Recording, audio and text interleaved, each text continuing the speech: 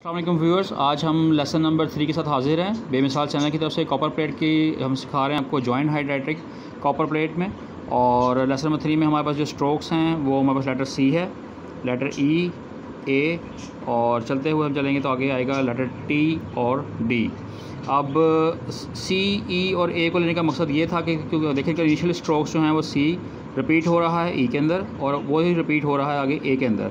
और यही पोर्शन आगे जाकर रिपीट होगा। डी के अंदर। तो ये बड़े हमने सोच समझ के डिज़ाइन किए हैं लेसन अगर हम इनको आप बाकायदगी से और मुतवातर करेंगे तो आपकी राइटिंग इम्प्रूव हो जाएगी। ये हम दोबारा आपको बताते हैं इंट्रोडक्शन में हमारा मार्कर है। ये मास्टर कलम है master Urdu six zero four number का। वैसे अगर आपको जो प्रैक्टिस अच्छी हो जाए तो आप सिक्स ज़ीरो फाइव भी इस्तेमाल कर सकते हैं। तो ये हमारा निप पकड़ने का तरीका देख लें। ये जो हमारा निप का लॉन्गर एज है बताता हूँ, ये देखें। ये। जो लॉन्गर एज है हमारी निप का, वो हमने राइट पे रखना है और जो स्मॉल स्मॉल एज है वो हमारा लेफ़्ट पे जाएगा। हम शुरू करते हैं इसको सी लेटर को। तो पहले हम लोग बिल्कुल बारीक स्ट्रोक बनाना है।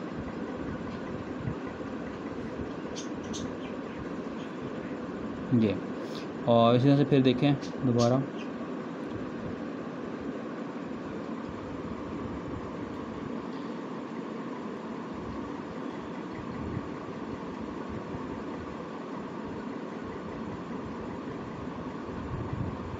ये बेसिकली ये बिल्कुल सेमी सर्कल नहीं है, इस तरह का स्ट्रोक नहीं है। बेसिकली इसकी जो बेसिक शेप है, वो इस किस्म की है।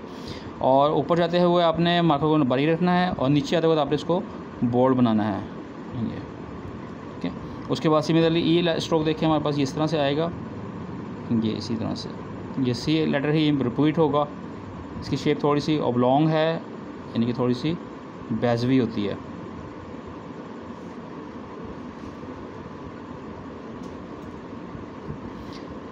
लेटर ए हमने लेसन नंबर थ्री में आपको इंट्रोड्यूस करवा रहे हैं। इसकी वजह यह है कि लेटर ए जो है वो थोड़ा सा टिपिकल होता है और लोग ए ही गल, सबसे पहले स्टार्ट करते हैं बनाना और जल्दी मायूस होकर छोड़ देते हैं। इसका स्ट्रोक देखें आप।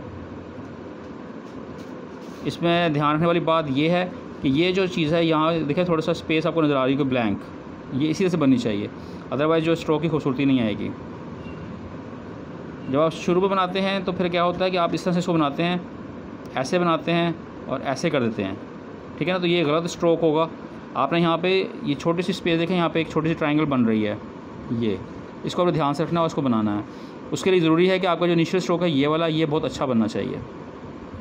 और यहाँ से आपके पास ये, इस तरह से होगा और ये। ये आपको याद होगा, ये हमारा बेसिक स्ट्रोक्स में से एक स्ट्रोक है, जो कि हमने आपको इंट्रोडक्शन इंट्रोडक्टरी लेसन में सिखाया था। लेसन नंबर वन से पहले के जो लेसन है इंट्रोडक्शन लेसन उसमें हम सिखा चुके हैं। लेटर टी देखें ये अभी मैं आपको सिर्फ़ इस बात पे ज़्यादा ज़ोर नहीं दे रहा कि ये इसकी हाइट देखें और इसकी हाइट देखें और इसकी हाइट अभी आप सिर्फ़ बेसिक जो इसकी फॉर्मेशन है स्ट्रोक की, वो देखें। फिर आप वो बारीकी के साथ आस्ता आहिस्ता आपकी प्रैक्टिस हो जाएगी, फिर आप इसी लेटर को आप लंबा भी कर सकते हैं, ज़्यादा, ठीक है? ये प्रैक्टिस की बात है और छोटा भी कर सकते हैं लाइक दिस वन तो इस पर मत जाएँ कि ये बहुत छोटा बना दिया मैंने ये बहुत बड़ा बना दिया। आप बेसिक स्ट्रोक को, जो उसकी वो फ़्लो है, वो देखने की कोशिश करें और समझने की।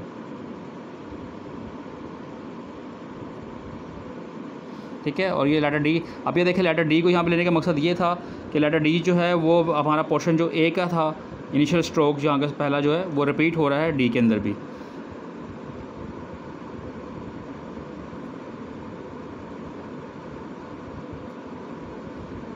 ये देखें लेटर सी डी और ए का जो है, ये कम्बिनेशन है बेसिकली लेटर डी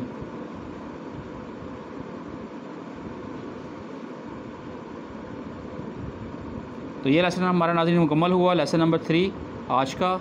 इसमें हमने आपको पाँच स्ट्रोक सिखाए हैं। पहला हमारे पास था लेटर सी ठीक है? और फिर इसी से चलते हुए ई e बनाया है ए बनाया, और उनकी बारीकियाँ सिखाई हैं लेटर टी से समझाया है और डी इस लिहाज से हमारे अब पूरे पाँच ऐसे कंप्लीट हो चुके हैं। आप इनको देखिए, समझिए, बनाने में कोई मुश्किल है तो हमसे रब्ता कर सकते हैं। अब हम मिलेंगे आपसे, इंशाल्लाह नेक्स्ट कैपिटल लेटर्स के साथ कॉपर प्लेट में। तब तक के लिए खुदा हाफिज़। बेमिसाल देखने का शुक्रिया।